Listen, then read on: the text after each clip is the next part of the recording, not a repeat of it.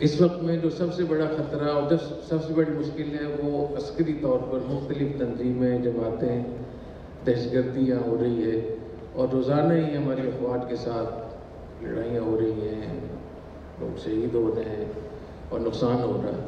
تو اس پر بات کرنے کی ضرورت ہے کہ یہ کون لوگ ہیں؟ دہشت گردی میں جو لوگ ملوث ہیں، جو گروپس ہیں، یہ کون لوگ ہیں؟ ان کا مائنڈ سیٹ کیا ہے؟ اور ان کو ان سے لڑنے کی کتنی بڑی فضیلت ہے اور کیا اس کی اہمیت ہے؟ تو ہمارے دین میں اور احادیث میں اور فقی اصطلاح میں ان کو خوارش کہا جاتا ہے۔ خوارج کے بارے میں نبی کریم صلی اللہ علیہ وسلم نے کہ احادیث موجود ہیں اور صحیح احادیث ہیں کہ وہ کون لوگ ہوں گے؟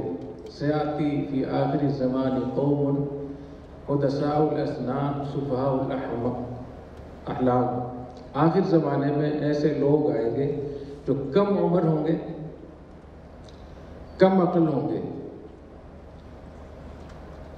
اور فرمایا، یقرؤون القرآن، قرآن بھی پڑھیں گے۔ ولا یجاوز ایمان و حناجرہم ان کا ایمان اور قرآن جو ہے وہ گلے سے نیچے نہیں جائے۔ گا تو یہ جو خوارج ہیں، تو یہاں لڑ رہے ہیں، یہ خوارج بھی ہیں اور باغی بھی ہیں۔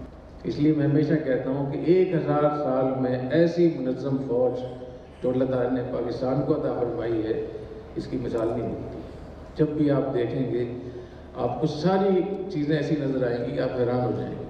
تو الحمدللہ اللہ تعالیٰ نے ہمیں ایک ایسی فوج دی ہے جو منظم ہے میرٹ وہاں چلتا ہے اور ایک ہر چیز کی تیاری ہے۔ میں چالیس سال سے دیکھ رہا ہوں کہ چالیس سال سے جتنی کوششیں پاکستان کو نقصان پہنچانے کی ہوئی ہیں چاہے وہ روس کی طرف سے ہوئی ہو، کسی اور ملک کی طرف سے ہوئی ہو، انڈیا کی طرف سے ہوئی ہو، اندر سے وہ زیادہ تر اس کا فوکس پاکستان اور پاکستان کی افواج ہے۔